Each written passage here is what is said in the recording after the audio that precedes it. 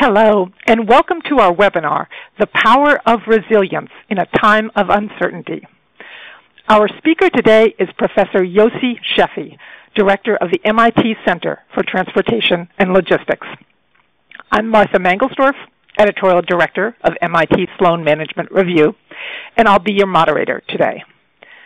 This webinar will be recorded and will be available to all attendees early next week. We welcome your questions for Professor Sheffi today. To submit questions, please enter them in the chat box in the lower left-hand corner of your screen. Or you can submit questions on Twitter using the hashtag ResiliencePower. A continuing Twitter chat with Professor Sheffi will follow immediately after today's webinar under that same hashtag. Now let's begin. Professor Yossi Sheffi is the Elisha Gray II Professor of Engineering Systems at MIT, as well as the Director of the MIT Center for Transportation and Logistics. He is an expert in systems optimization, risk analysis, and supply chain management. Professor Sheffi is the author of several best-selling award-winning books, including The Resilient Enterprise. His newest book, The Power of Resilience, How the Best Companies Manage the Unexpected, will be published by MIT Press next month. Professor Sheffi, please go ahead. Thank you very much, Martha, and let's start. So we'll start with uh, thinking about what can go wrong. If you join this uh, webinar, you are probably worried already about what can go wrong. But let's talk about the last few years. So we had this eruption in this mountain that nobody can uh, pronounce that uh, halted aviation throughout Europe and had problems, caused some problems in uh, manufacturing production for many companies. Uh, we had the Japanese tsunami and earthquake, of course, that was a major disaster. We had the Thailand floods that impacted particularly the uh, disk drive industry and created significant price increases. We had an explosion in a chemical plant in Germany of the of Evonik and this almost halted production for the entire automotive industry when everybody found out that Evonik is responsible for over 50% of the world production of nylon 12, certain plastic that is used in automotive applications. We had also strikes, not only uh, in the United States. The example here is the uh, Los Angeles Long Beach port strike that uh, halted the movement of freight throughout the port, the largest port complex in the U.S. And we had the horse meat fiasco in uh, Europe, where IKEA, for example, found that the iconic meatballs are actually horse meatballs, and several other providers also suffered from the same issue. One can think about all kind of risks, and what I have here is a, a dichotomy of this uh, risk. One can think about random phenomena, mostly natural phenomena, earthquake, fires. One can think about accidents, about issues that have to do with government and politics and um, closing trade lanes. There are issues of non-compliance with all kind of regulations that can shut a company down. In fact, there's issue of competition. Competition can come from left field, from where nobody expects it. Certainly, Nokia didn't expect a computer company to uh, move it from the world leader in cell phone to an also ran and then out of this business. The economy, of course, can provide surprises. We had the 2008, but before that we had the uh, Asian currency debacle and, of course, 1930s. There are issues of corporate social responsibility, what I call social disconnect, when companies are getting caught doing things that impact their brand. Uh, but it can also happen because a supplier gets caught, and NGOs and, and the media will usually attack the brand holder rather than the supplier. And of course, there are intentional disruptions. Those can be not only terrorist attack, but also strikes and uh, sabotage these are kind of different from all others because they usually happen in the worst place and the worst time. So it is something to uh, to worry about, and it's hard to insure against because there is a, several issues going on there. First of all, there's no pattern, and second, if somebody, if uh, there are two plants right next to each other, and one plant, for example, fortifies its defenses, the not only the consequences of an attack on this plant would be lower, the probability of attack will be lower, and the probability of, of attack on an adjacent plant will be higher, even though it didn't do anything. And of course, you can have all kind of reasons for supplier failure that can be um, for any reason at all. So, as we think about these things, uh, we can think about disruptions in terms of causes and in terms of effect. Causes are hurricane, earthquake, strikes, coup. The effect are supplier down, a, port is closed, whatever. And thinking about the causes help to estimate the likelihood that this thing will happen. And thinking about the effect help estimate the impacts and the consequences of such disruptions. So how do we categorize this type of, of disruption, all type of disruption? The classic way to categorize them is along two axes, the disruption probability and the consequences of the disruption. So the the disruption probability means how likely is the disruption to take place, and the consequences mean if it hits, how bad is it going to be? And usually people put possible disruptions anywhere along this axis, and they help to prioritize which disruptions one should be prepared for. And typically, the um, people look at disruptions that uh, have high consequences and high probability as those that one should prioritize and be prepared for because the the metric that people use is the expected value, which means the probability of disruption times the consequences. And if this is the metric, then the items on the um, right-hand upper quadrant will be the most dangerous. If we look at how to classify them, clearly items on the lower left um, quadrant that have low probability line consequences one should not worry about things that have high probability, they happen a lot, but the consequences are not too bad. These are the firefighting issues. These are the things that give uh, operations management and supply chain executives job security. Things are happening all the time, so one has to deal with it. The on on the right-hand upper qu- uh, quadrant, these are the things that we mentioned before, the high expected value, while actually the most dangerous events are on the lower right-hand side. These are the things that have low probability and in many cases never happened before, but have high consequences. Think about 9/11, the BP explosion, Bhopal. Those type of huge disruptions that did not happen before means the companies are not prepared for them, don't know how to prepare for, prepare for them. So actually, one has to classify disruption a little bit differently and I put the most worrisome on the low probability severe consequences side. And you prepare for these things differently. To prepare for the high expected value disruptions, one can identify the risks. These are things that happened before. They are, if they are high probability, they happened before. And one prepares a response. For example, Cisco is known for having playbooks. So they have um, 14, 18, any number of playbooks. Each one of them is for a family of disruptions, and there's a general way of responding to it. So if one of these disruption happens, there's a playbook that uh, helps the response.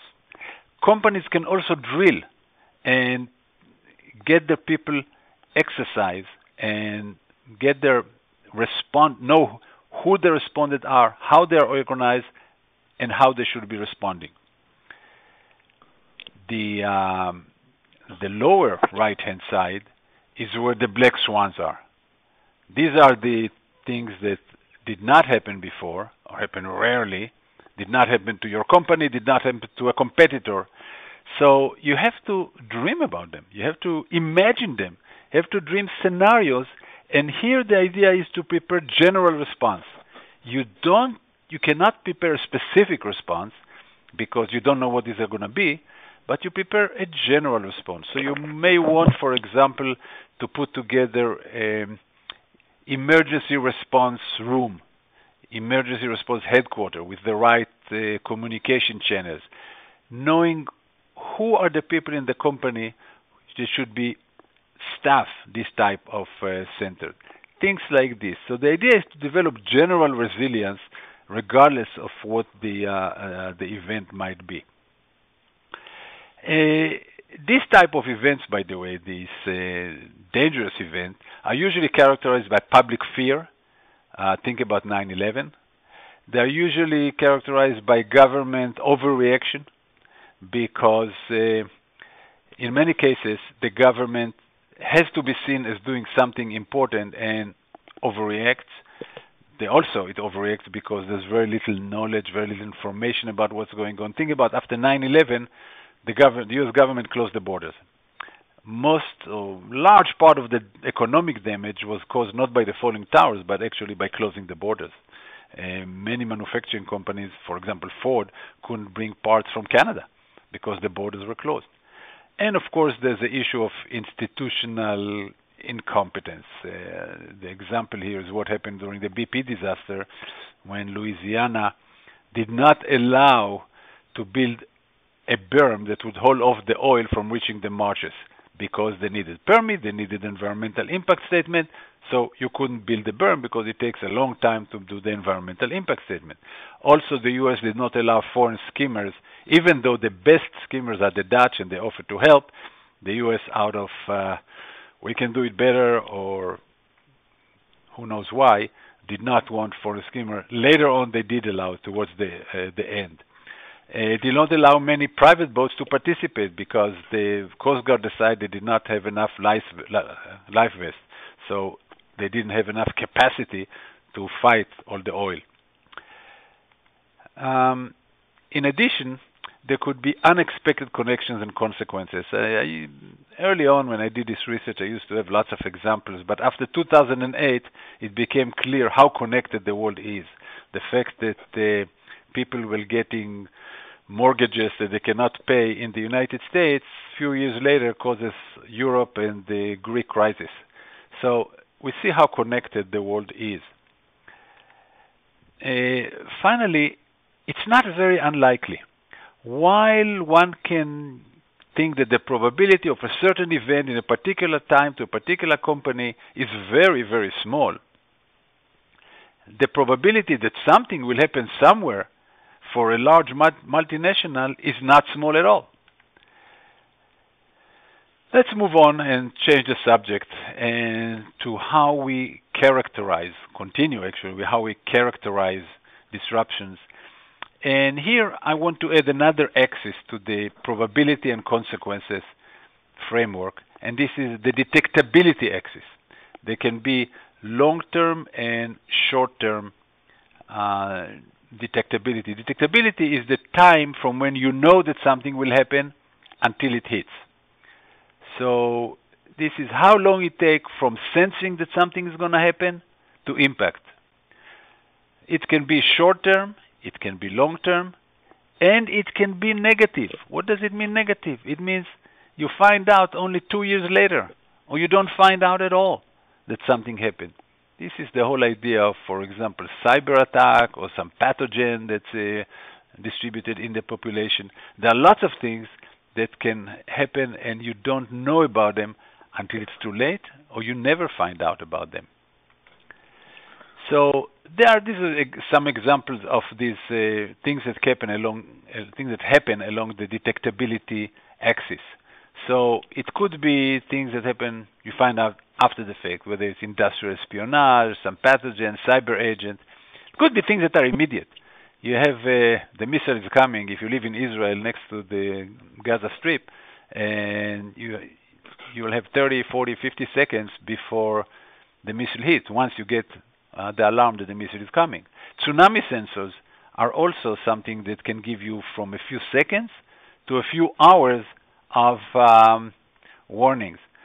There was a case in uh, in Mexico when there was a tsunami in the Pacific, and by the time the wave traveled through the ocean and to the ground to Mexico City, Mexico City was able to shut down the Mexico City subway about 40 seconds before the tsunami hit Mexico City.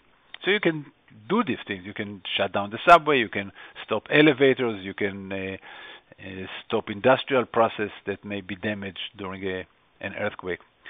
Of course, the short term, talking about one, two, three days, a weather forecast, you see that hurricane is coming, you can see the hurricane cone and get an idea where it's going. There are medium term, you see deteriorating labor relationship or some competition develop. And there are some long term things, whether it's aging or global warming or deteriorating infrastructure. You can see this coming, they'll take years. And here the issue is the danger is, of course, with the negative detectability or short term. With the long term, there's opportunity because you see this uh, type of uh, trends and you can prepare for them. And a company that will prepare better than its competitor will have an advantage, obviously.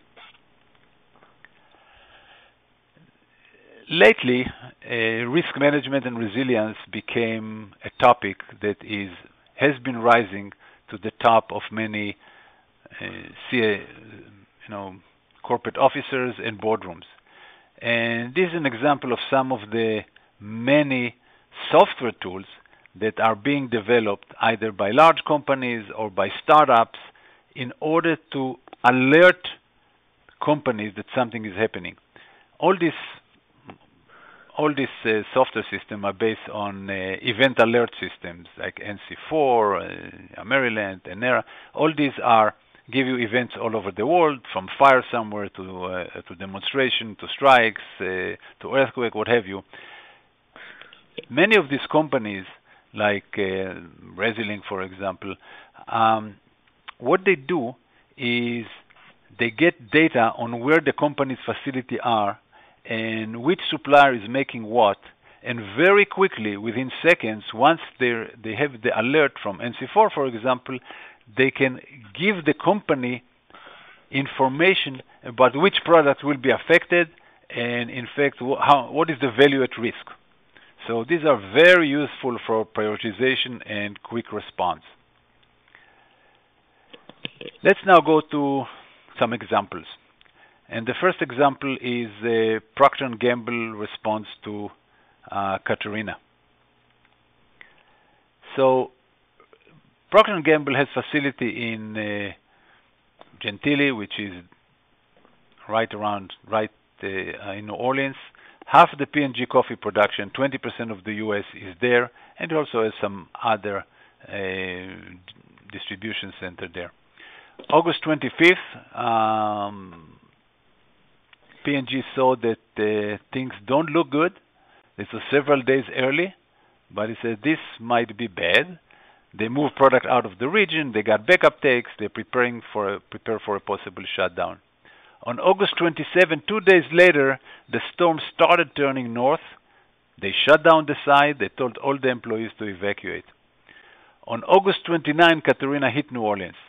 At this point, P&G started uh, two priorities: supporting employees and restoring plant. By the way, these are things that uh, several companies, notably Intel, has totally separated to make sure that employee support and uh, restoring the, pl- the plant or restoring the business do not interfere with each other, and neither one of them gets priority over the other. Um, they P&G set up a command center and staging area in Baton Rouge, Baton Rouge, right outside uh, uh, New Orleans. They had to take some photos from the air because nobody knows what was going on. They found out that the plant had limited damage, but a lot of the infrastructure around it was really down. They immediately went on to start finding the employees. They offer continuity of pay. They offer counseling to um, to employees, and they went at the same time to start restoring the plant. They needed alternative source of supply because the plant is down. They had to bring uh, stuff from other places. They needed housing, and they built a trailer village with 125 trailers. they had to dig a new well because it's very large amounts of water. And they had very good relationship with the local police that helped them a lot because going through all the roadblocks, they had police escort, and otherwise they would have spent hours and hours every time they had to bring a convoy to the uh, plant with supplies. So here the um, the moral of the story is that local relationships are very important. As a, just know, the plant started production September 17th. It was the first production in New Orleans. President Bush came down. It was a big ceremony, but they got back on their feet very quickly. Let's look at another example and try to get some learnings out of that. This one is uh, General Motors and the disaster in Japan. And these are the suppliers that General Motor had in Japan. So you see that they're all around the Fukushima Daiichi nuclear plant, right in the epicenter of the um, of the earthquake and the tsunami. Around it, you see the concentric circles that show the distance of the various suppliers from the um, epicenter of the disaster. Most of the suppliers were within the radioactive zone. Uh, originally, when the information got to GM early on um, on uh, March 14, the estimate was that 30 suppliers are down, 390 parts are affected. At this point, nobody got excited until they did some calculation. They said, okay, the first plant that will not have parts for production will be about eight days later, March 22nd. And by the way, by the end of the month, GM, all of GM would be down. At that point, alarm bells rang throughout GM, and it was a reason to start taking it seriously. GM organized relatively quickly. They created a crisis suite to, to co- coordinate centrally the response. They had supply chain people and engineering people in the uh. They had also smaller crisis room in international location. The most important thing, they knew immediately who to call based on what's called Project D. That's where Delphi, several years before that, went out of business. They were the biggest supplier of GM and they went bankrupt. So in order to deal with that type of emergency, they created this uh, team and they knew who to call. The leader of the team was Bob Earls, was executive director of global supply chain at uh, General Motors. Uh, this is what the one. It was actually three rooms. This is what one of the rooms in GM headquarters look like, and on the lower right-hand side is uh, Bob Earls, who was running the operation. This was the daily cycle. Uh, at six o'clock, there was update of uh, senior management. Then they had sub-team meetings, all the functional meetings. Then information was rolling down to all other teams. 10:30 there was a update of the sales, service, and marketing because you needed to update the dealers, to update customers, and at the end of the day, at four o'clock was uh, follow-up and new information that uh, came out uh, during the day. The center was running, by the way, 24/7, and people were there basically 24/7. Uh, what happened is, let's look at how the events unfold. So, March 11, we had the earthquake and the tsunami. Um, at that point, that they thought that less than 25 or 30 part tier one suppliers are being uh, um, impacted by the um, problem. On uh, March 14th, they formed the the risk mitigation team. At that point, they knew that 390 part numbers are missing. March 24, the, they knew that 1,500, more than 1,500 white parts are missing, and they form the white space chart, which I'll show you in a minute. That's a way to track what was going on. March 29, um, almost 2,000 parts are missing. April 13, over 5,000 parts are missing. May 27, almost 6,000 parts were missing. They divide, at the end, there were so many parts missing that they could not really follow them, so they divide them into families, what they call commodities. You can think about them as sub-assemblies. But uh, they were tracking these 118 commodities. And the way they're being tracked is on this, what is called white space chart. What you see on the left-hand side, 1 to 16, are GM assembly plants. They are code names that I will not uh, explain here. What you see on the top are dates. And actually, the team worked from left and right, but the X's, the O's, and the triangles mean that the X mean there's a platform production reduction. Either they cannot build anymore or they can build only limited number. The triangle mean uh, there's a potential issue, but they are working through it and they think they have a solution. Uh, the uh, uh circle mean that they have a problem, but they have already a solution for it. So what happens is people were working both from left and and from the right. This was the first type of um, white space chart, and the way it worked, if you look at it now, is the following: the supply chain and, and logistics people were working left to right. They were trying to find inventories deep in the supply chain. They were trying to find uh, inventories that were uh, on the seas. The people on the right were the engineering people. The engineering people were working to find uh, different alternative parts and different alternative suppliers and thinking about how fast they can qualify them. So the the time between them is the white space. So green means that we're in production, and the white space is the time that plants will have to be down. The black marks in the middle of the table are the summer close down when GM closed down the plant anyway for model year changes. So this is how they work from the right and from the left and trying to close this white, white space. So supply chain looked at inventory anywhere, and as you could see from what I showed you before, when the number of parts went from 390 to almost 6,000, the problem is that more and more people are finding out that deeper and deeper in the supply chain they had problems. Because the supply chain of GM is so deep, it took a while to realize that they have a problem with certain parts. Somebody at tier four, five, or six was could not could not produce something, and then their customer could not produce, and their customer could not produce. Finally, it was getting to GM.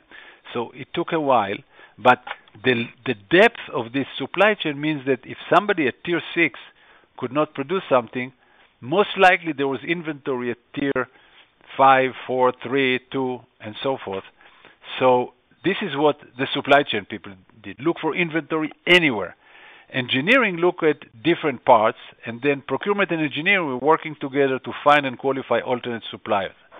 Of course, logistics had to get the new part in from a different supplier or uh, a different location.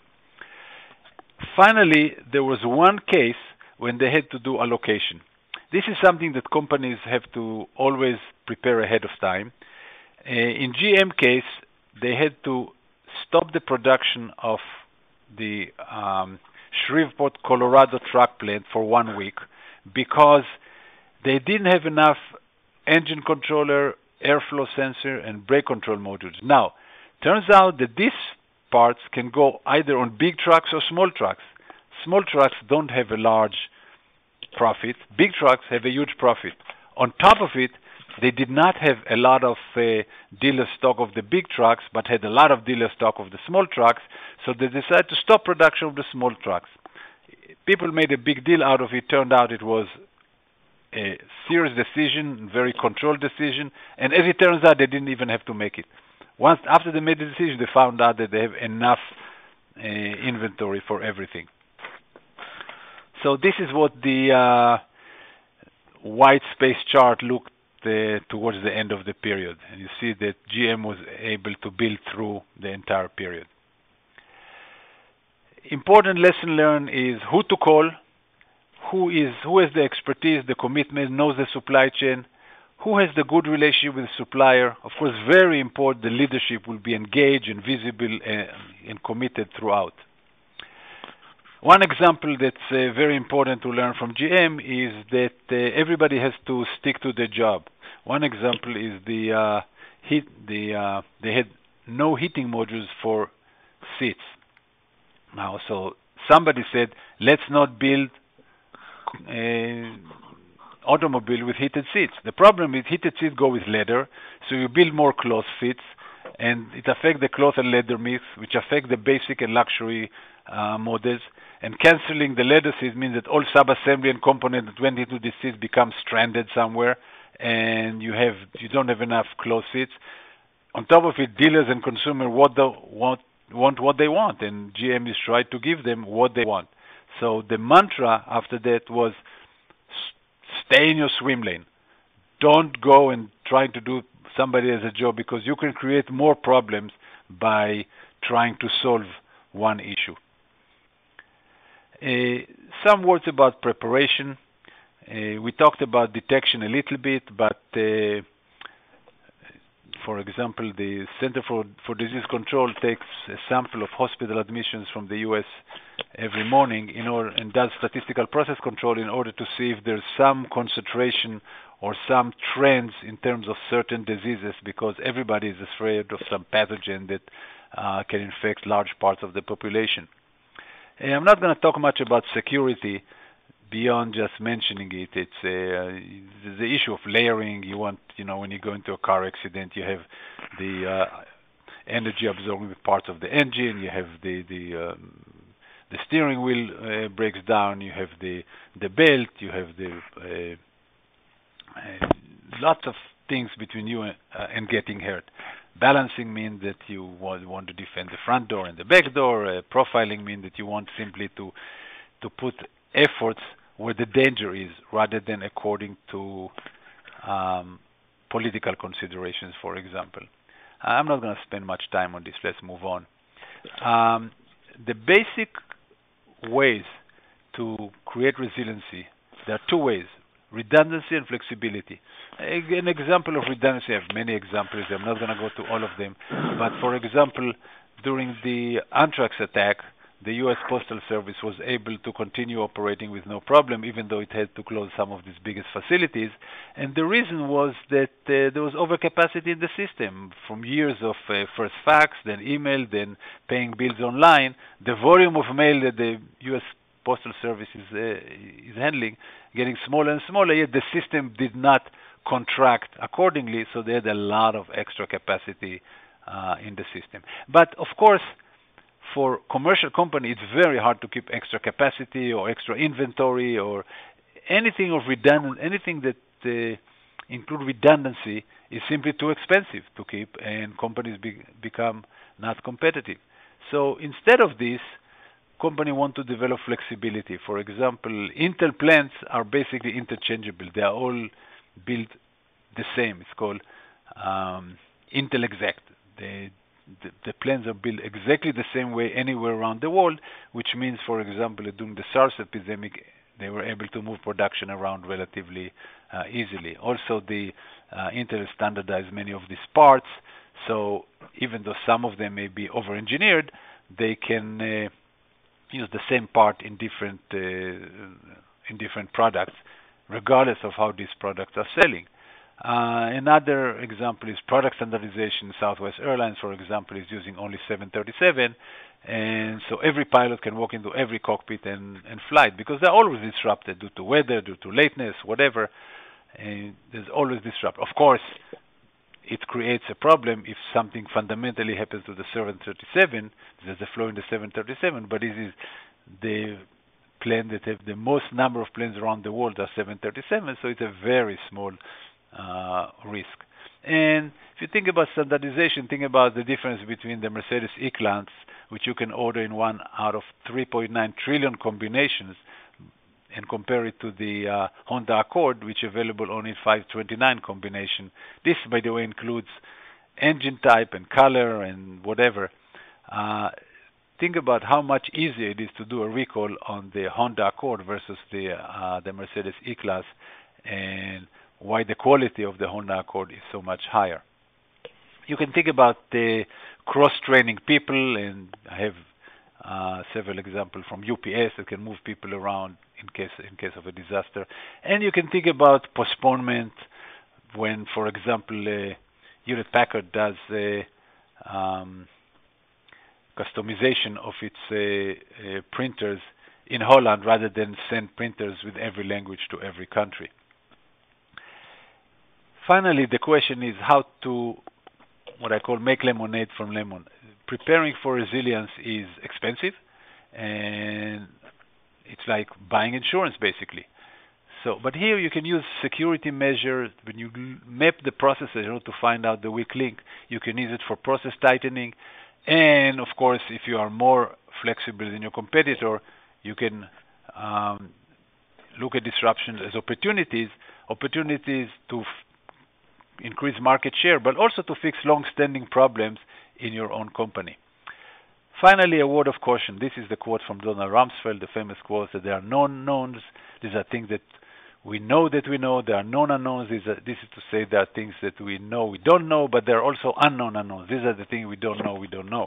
These are the things that uh, Nassim Taleb was calling the black swans. Few more uh, points. First of all, note that uh, a lot of what we do in terms of forecasting is based on statistical reasoning, and this is based on history. History is not likely to repeat itself. The biggest, uh, the biggest event will always be in the future. Think about it. History is bounded. The future is not bounded. That's why world records are being broken. So the biggest event that will ever happen did not happen yet. Always will happen in the future. And the imagination is bounded by the largest past event, well, the future event is likely to be bigger. And the complexity of the model world increases the chance of unknown unknown because there are so many interactions between various parts of the system that one can get unexpected results. Uh, evolutionary principle may help deal with complexity. Uh, learning from small stuff, allowing for failure, will socialize the organization to deal with uh, with, complexity and with disruptions. Finally, let me just say that lack of evidence of disruption does not mean that is evidence of lack of disruption. This is particularly important when you talk about the negative detectability issue. The fact that you don't know that you had something doesn't mean that you did not have it.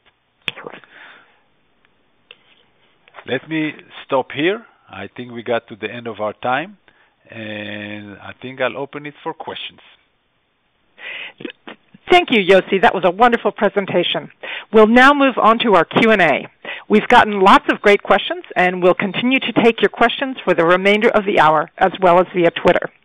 Just a reminder that you can submit your questions by entering them into the chat box in the lower left corner of the webinar screen, or on Twitter using the hashtag ResiliencePower. And now we'll turn to the questions. How, Yossi, how is a disruption different from a crisis or disaster? Uh, it is it is semantics. Uh, a disruption creates a crisis, so can create a crisis if you are not prepared. So the fact that there was a, a, an Arab Spring, it could be for some companies it was a crisis. Some companies were prepared to move um, production and services uh, around, it was not.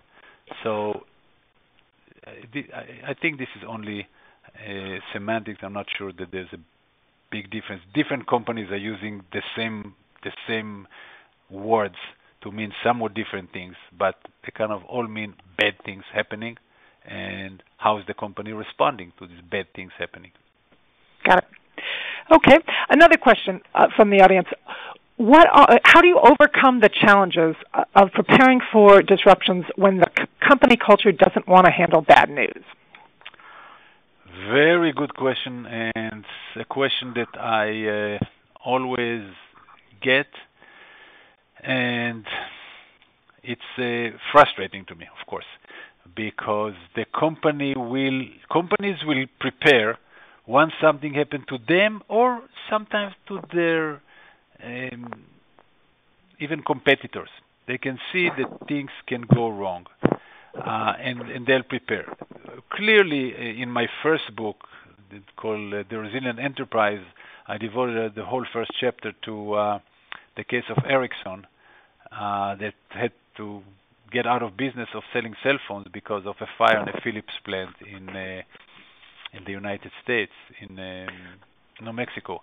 Ericsson after that became a model of uh, risk preparation and resilience. Started investing in it, investing in sensing, and but the question is, why does it have to happen only after something bad happens? This is a very difficult question.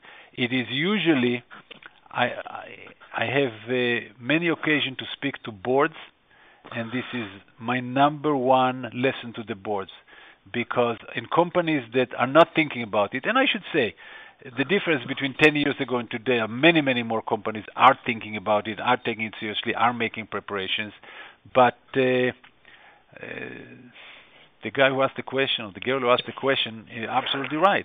In many companies, there's uh, you don't want to hear about it. It even gets worse. It's not only don't we want to hear about it. The tenure of a average CEO is three years, four years. this is just investing money, and if nothing happens, then it's just cost. There's no benefits. Just like you know, buying more insurance. So even though it's better than insurance, there are lots of positive things that you can get from preparation for resilience. Insurance is just money out. Um, still, companies don't want to invest because think about the CEO. Said, well, the chances will happen in the next three years are, are not very high, and meanwhile, to get my uh, bonus and my uh, you know performance rewards, I don't want to increase costs. So it's it's sometimes it's dead, sometimes it just as, as the as the guy as the person who asked the question mentioned Nobody likes to talk about bad things that happen. We always like to talk about the great progress that we are making and what can happen until something bad happens. So I don't have a silver bullet here. Uh, it's in in companies like this, it's a board issue, and the board has to make sure that it's the fiduciary responsibility of the board to make sure that this is uh, paid attention to. Great, thanks, Yossi. Another question: Each mitigation effort requires additional resources. How do you plan mitigation efforts if resources are limited? How do you allocate them optimally to minimize risk upfront? Thank you for the question. This is where a lot of the uh, prioritization maps that I put up are coming into play. The idea is, first of all, to get a, to imagine everything that can go wrong. So once you imagine everything that can go wrong, Let's think about things that happened before, not things that didn't happen before. We'll talk about that in a minute. But once you imagine everything that can go wrong, of course you cannot imagine everything. And by the way, not every response requires the same type of resources. If you have something like uh, workplace violence, it's a can be a, simpler thing than a plant burned down. So the, one has to also think about not only the uh, the damage or the crisis, but how much it takes to mitigate it, and then make a list of. At, at this point, the list can be based on expected value. So, how likely it is to happen, and how likely it is to happen, you can look at uh, at the literature. You can look at uh, the history of your own company if you've been in business for a while. When do things happen? How how big they were? what's the probability, and what was the damage. Then you say, okay, this is the probability, and this is how much the uh, uh, the damage was. How much does it cost to mitigate it? And sometimes, even though it's high probability and high uh, high consequences, the mitigation cost may be too high. So you said we'll take a chance. Uh, so it, it's a question of what are the mitigation costs.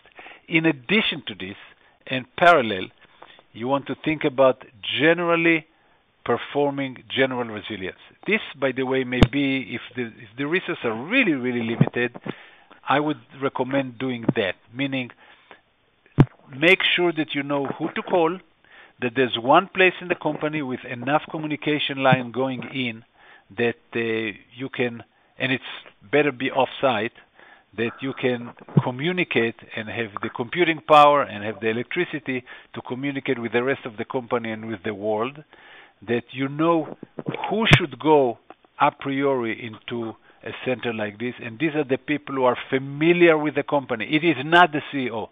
It is the people who are familiar with the day-to-day operation, but but you also want communication people because they want to keep Wall Street, they want to keep investors, they want to keep all stakeholders informed, and this information goes to the CEO because the CEO is the face of the company, but you need to keep them informed so they don't actually interfere with what the uh, the people who know the supply chain, who know the manufacturing, who know the real estate, who know the trade lanes should be doing day in and day out.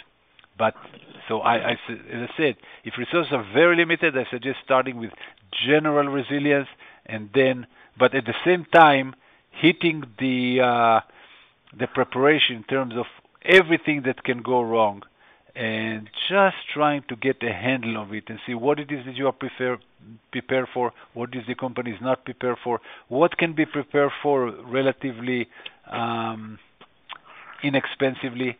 By the way, just uh, to make a point, in most companies that I know, the people who man the crisis management center are not full-time crisis manager employees.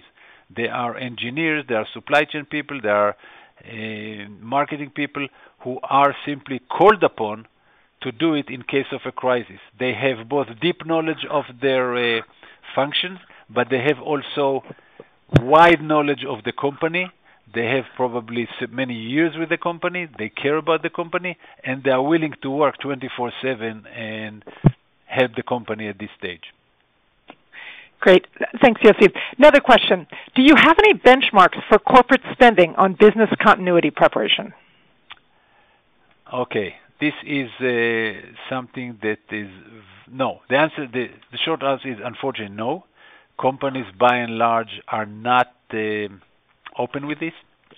So I, I can I can give you instead companies to talk to, and you want some of the gold standards in in in preparation would be Intel, would be Cisco, companies that invest quite a bit in it and are simply very good at it.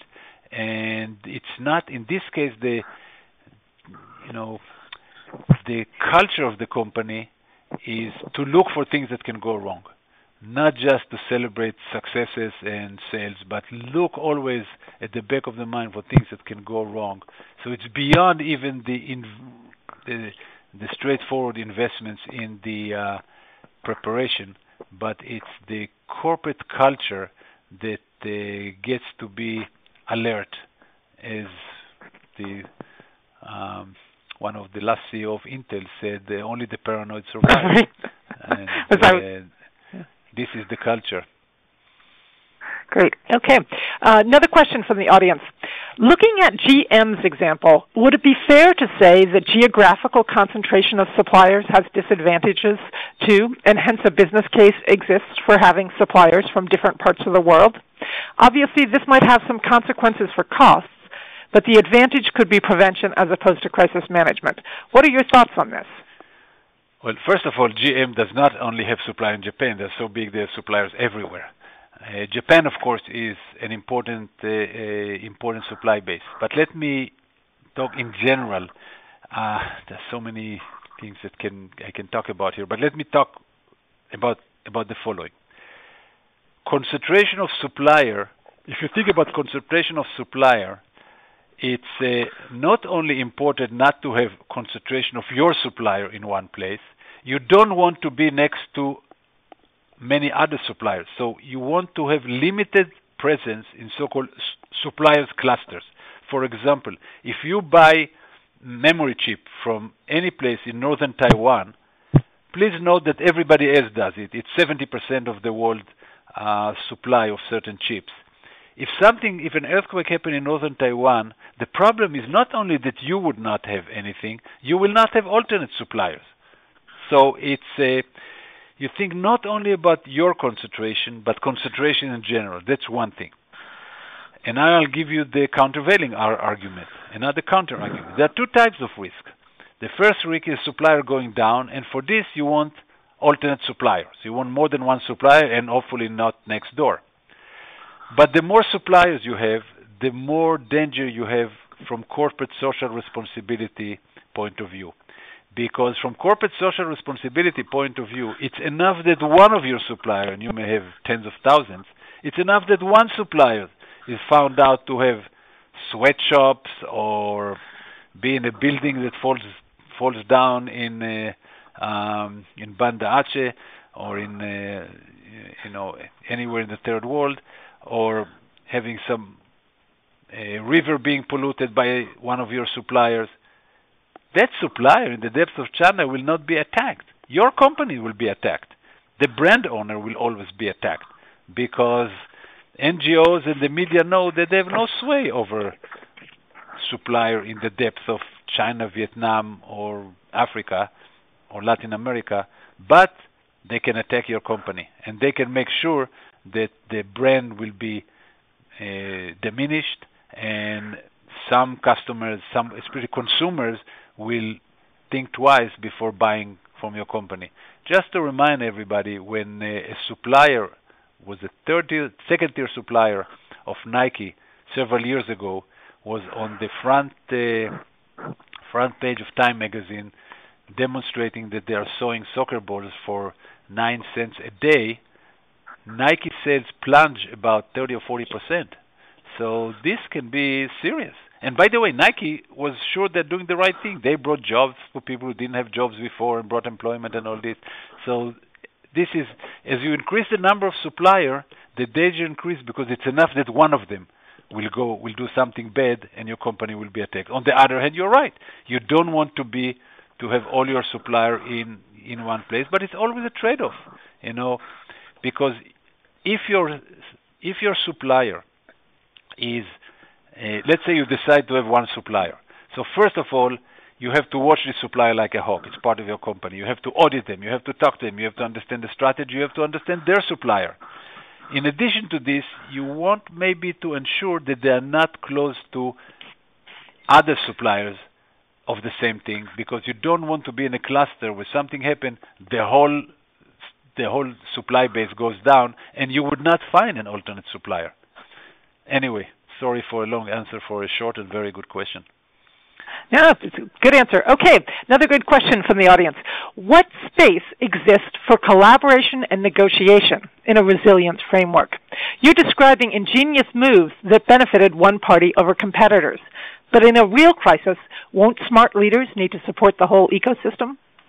Absolutely, and of course the uh, the emphasis was on smart leaders. Um,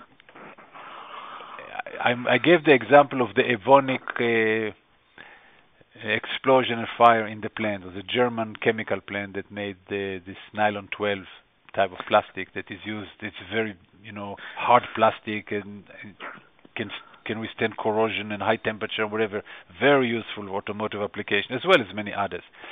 Since it has such an effect on the automotive industry, the whole automotive industry got together under the um, the umbrella of the Automotive Industry Action Group, the AIAG, in Detroit, and this was German German automobile manufacturers, Japanese automobile manufacturers, American automobile manufacturers, Korean. They all got together with many suppliers and with many chemical companies. That Dow, for example, that never made nylon 12, was able within a few days to rejig its operation to make some uh, some nylon 12. Of course, Evonik itself, engineers were there. So of course, this is an example where working together was very helpful. Another example is during the 2008 crisis when uh, Alan Mulally, the CEO of Ford, came to the came to Congress and requested and pleaded with Congress to save GM and Chrysler. He explained that if GM and Chrysler would go out of business, the supplier the whole supply chain that supplied to GM, Ford, and Chrysler, as well as many others, would go down. They will not be able to survive just on Ford business alone. So he pleaded with Congress to save his competitors. Again, an example of what uh, um, the person who asked the question, I think, alluded to. Absolutely, smart leaders understand that if the crisis is big enough, saving their own company is not the issue, but they have to worry about saving the industry. Great.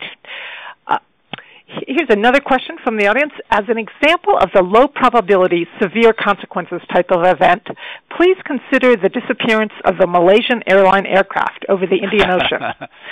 Only now have some pieces of the aircraft been found in Reunion Island. What could be the general response in this type of event? There has been a lot of trauma for the affected families. And what can be done to be resilient when something like this happens? Actually, in my new book, The Power of Resilience, I use this example because the I, well, I did not know the book is already uh, already in production, so I didn't know they'll find the uh, uh, the part from the uh, from the wing, but uh, I actually analyze in detail the response of the Malaysian government as an example of how not to do something, because uh, at this point very little that they can do in terms of mitigating the consequences. It happened. Uh, it was clear to any professionals that the airplane was lost. The question is how now you communicate to the family, to the world. And this is such a case of confused communications that people were, you know, statements were coming from the prime minister, from the head of the air force, from all the agencies involved, in many cases contradicting this was a bad case of how to communicate to the world, and it actually increased the heartache for the families because nobody knows what's going on. The worst thing in a disaster is lack of information or inaccurate information. The best thing that one can hope for in a disaster like this is give the most accurate information possible and if you have to give information when you don't know all the details, you have to tell people that this you don't know all the details, but this is the best you know, and it may change. Be upfront and accurate. That's the only thing that can be done, and speak with one voice. So this was an example in the first month following the uh, uh, the disappearance of MH370, that where things did not go the way one would wish them to go. Thanks. Another question from the audience. Dear Professor Sheffi, thank you for your presentation. I have read your book, The Resilient Enterprise, and several articles. I also have read the work by your colleagues Dr. Pettit and Dr. Fiksel. My question is, what differs, what, how do resilient supply chains differ from an agile supply chain? Are they the same? Okay. The, uh, the reference to agile supply chain. People use uh, interchangeably agile and, and, flexible, and you can. I don't want to uh, to separate uh, between them. Resilience is responding to anything. So you can respond by having redundancy. You do not need to have agility or flexibility. It's one way to respond. But having redundancy, for example, you keep safety stock. Safety stock is not an agility element, it's a redundancy element. You have redundant stock and it helps. It helps you to um, to catch your breath if something is happening, so you can prepare. Uh, if you have, there are many other examples of uh, redundancies make sense. Agility and flexibility are simply the ability to respond quickly and move from one situation to another. So it's one way of responding. Uh, it's a it's a good way when you can build it in. It also, by the way, costs money to be able to be uh, flexible usually does not come cheap, but it's worth doing because flexibility and agility, and I use them interchangeably, also allows you to respond not only to disasters, but they allow you to respond to changes in the marketplace, to changes in demand. Demand for one product goes down, demand for one product goes up. You can move from one to the other very quickly. So, agility and flexibility give you other uh, pluses beyond the uh, insurance type that the redundancy gives you. Great. Thank you for that clarification. Now I'm going to ask you the question that I think is the most popular question. Uh, many attendees are asking, um, will it be possible uh, f- for them to get a copy of your slides? Would you be willing to distribute those, to have us distribute those to attendees? Well, given my uh, deal with MIT Press, I will be able to do it in September when the book comes out. okay. So uh, I I don't pre-give them, but I can I can redact them and give most of them. Yes. Okay. I, I, I can do it. Okay, terrific. Excellent.